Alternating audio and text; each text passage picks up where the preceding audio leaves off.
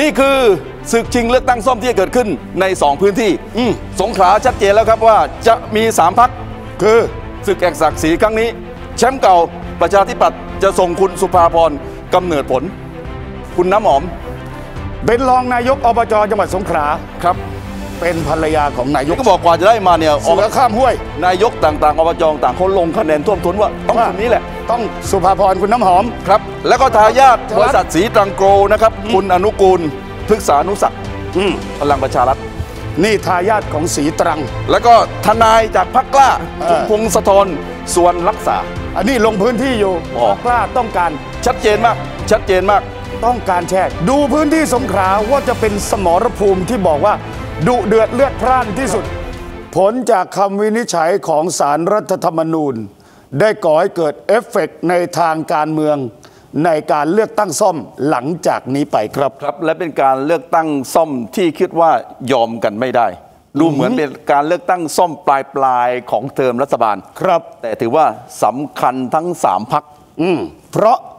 เป็นเป็นศึกแห่งศักดิ์ศรีประชาธิปัตย์คือเจ้าของพื้นที่เจ้าถิ่นแชมป์เก่า และในรอบที่แล้วในการเลือกตั้งซ่อมครับที่จังหวัดนครศรีธรรมราช พ่ายแพ้พลังประชารัฐพ่ายแพ้ใน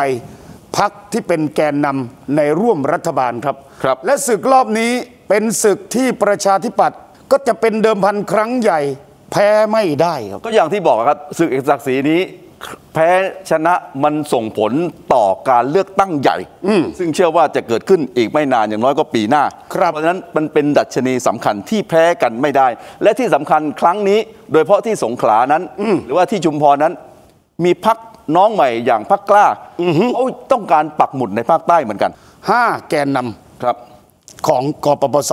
ผลพ้นสภาพความเป็นสสและปาร์ตี้ลิสต์และคำวินิจฉัยของศาล เอ่อเสร็จสิ้นมาเนี่ยทั้ง 5 ท่านเนี่ยแสดงความรู้สึกที่แตกแตต่างกต่างกันครับ อารมณ์ความรู้สึกของบรรดา สมาชิกสภาผู้แทนราษฎร ทั้งในส่วนที่เป็นสสและในส่วนของ party list ครับมีแง่คิดและมุมมองที่ต่างกัน คุณถาวรเสนเนียมสอสอจังหวัดสงขลาครับ เขตหกเขตหกบอกว่ายังไง บอกว่าน้ำตาตกในอกระทม ความเจ็บปวดที่ไม่มีคำบรรยายใด ๆ ที่จะบอกพี่น้องพักประชาธิปัตย์บอกกรรมการบริหารพัก บอกบรรพบุรุษของพักว่า ผมสิ้นแล้วซึ่งเกียรติยศที่จะเป็นสมาชิกของพักด้วยคำวินิจฉัยของศาลรรัฐธรรมนูญครับ และว่ากันว่าถึงตอนนี้ครับทางออกเฉพาะในส่วนอนาคตของคุณถาวรเสนเนียม เมื่อสักครู่บอกว่าผมพ้นสภาพแล้ว สมาชิกพรรคประชาธิปัตย์ประชาธิปัตย์แต่ว่ามาสมัครใหม่ได้ คุณถาวรเนี่ยเป็นสมาชิกประชาธิปัตย์ตั้งแต่ปีไหนพี่โอทราบป่ะโอ้20กันยา2511ยังเรียนยังเรียนธรรมศาสตร์อยู่เลย ยุวประชาธิปัตย์2511 20 กันยา กี่ปีแล้วล่ะ ยุวประชาธิปัตย์รุ่นเดอะครับโอ้โหเพราะฉะนั้นพ้นสมาชิกแต่ว่าถ้าเกิดคดีจบสิ้นพ้นต่างๆเนี่ยมาสมัครใหม่ได้ แต่ตอนนี้ก็บอกว่าคุณถาวรมีสองทางเลือก หากพ้นตรงนั้นมา ไม่อยู่ประชาธิปัตย์ต่อ ก็ไทยพักดีใครแต่น้ำหนักเนี่ยเนชั่นอินไซต์พอทราบมาว่าจะไปทางไหน ว่าน่าจะไปไทยพักดีครับถูกต้องครับถึงน้ำหนักตอไปทางนั้นทีมงานน้ำหนักไปทางนั้นแล้ว ครับ นี่อนาคตคุณถาวร แต่ผลของการตัดสินของศาลจะส่งผลที่เป็นแรงกระแทกไปสู่การเลือกตั้งในพื้นที่ต่างๆ เขาจะกำหนดไว้ภายในเท่าไหร่วันนะอังคารนี้คาดว่าเอ่อพรบการเลือกตั้งไอ้ปฏิกาว่าด้วยการเลือกตั้งเนี่ยจะเข้าคลมก่อนแต่แล้วหลังจากนั้น 45 วัน นับไปเลย4ว่าวันมีการเลือกตั้ง 2 เขตเดือนหนึ่งกับ 15 วัน ถูกต้องครับ จะมีการเลือกตั้งในพื้นที่สองพื้นที่ที่เป็นสสเขตหนึ่ง